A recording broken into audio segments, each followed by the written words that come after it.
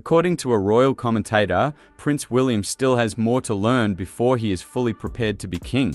Despite celebrating his 41st birthday and expressing his ambition to end homelessness, the commentator believes that this phase of being Prince of Wales is crucial for William's growth and modernisation of the monarchy.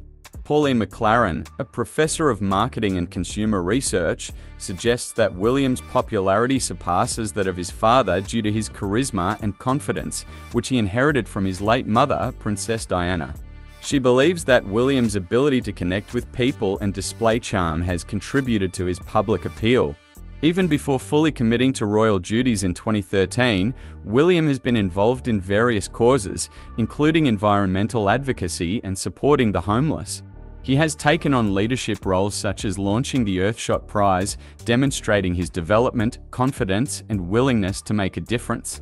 Overall, while William is highly regarded, the commentator emphasises the importance of this period as Prince of Wales for him to continue learning and shaping the monarchy's future while preserving its allure. Our channel can provide you with more current news and important information. Make sure to hit sub, like, and bell button down below to stay on top of things.